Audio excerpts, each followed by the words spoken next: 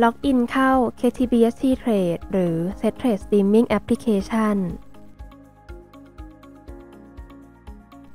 ระบบตรวจพบอุปกรณ์ของท่าน คลิก Continue จากนั้น ระบบจะส่ง SMS OTP ไปยังเบอร์มือถือที่ท่านให้ไว้กับบริษัท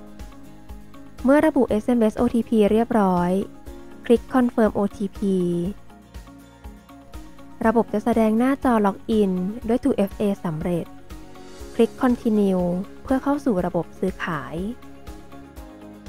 สำหรับการล็อกอินครั้งต่อไป หลังจากทำ Two Factor Authentication หรือ 2FA ในการลงทะเบียนอุปกรณ์แล้ว เมื่อท่านล็อกอิน โดยการกรอก Username Password ระบบจะไปยังหน้าจอซื้อขายทันที